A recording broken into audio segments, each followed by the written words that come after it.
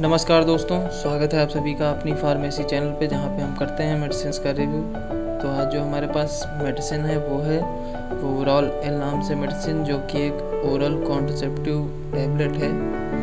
तो इस टैबलेट का काम क्या होता है, क्या साइड इफ़ेक्ट्स रहते हैं, किन यूजेस में इस टैबलेट को लेते हैं हम तो आज हम बात करेंगे पूरी ओवरऑल एल टैबलेट के बारे में।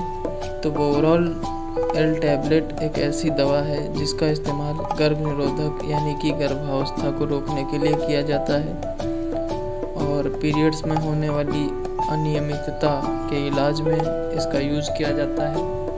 तो ओवरऑल एल टैबलेट एक बहुत ही अच्छी मेडिसिन है जिसको मैन्युफैक्चर करते हैं पी फिज़र वाले पी फिज़र लिमिटेड वाले। तो ओवरऑल एल टैबलेट का काम गर्भावस्था को रोकना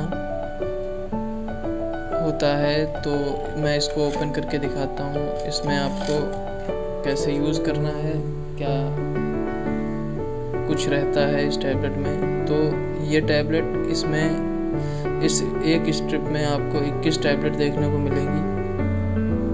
तो कैसे इसको यूज़ करना है तो आपको ये डेली अगर आप महिला हैं, महिलाओं के लिए ये टैबलेट है तो इसको आपको रोज़ एक टैबलेट यूज़ करनी है, खाना खाने के बाद, रात में सोते समय।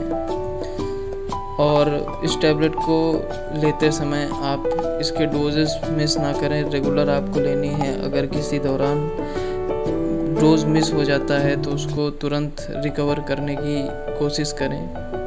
तो 21 टैबलेट की स्ट्रिप है, आपको वीकली लेनी है। एक, दो, तीन, चार, पाँच छः सात। तो ये फ़र्स्ट वीक की सेकेंड वीक की थर्ड वीक की, ऐसे आपको ये टैबलेट यूज़ करनी है। और इसके एमआरपी की बात करें तो आपको ये बहत्तर रुपये की एमआरपी पे किसी भी मेडिकल स्टोर से मिल जाएगी।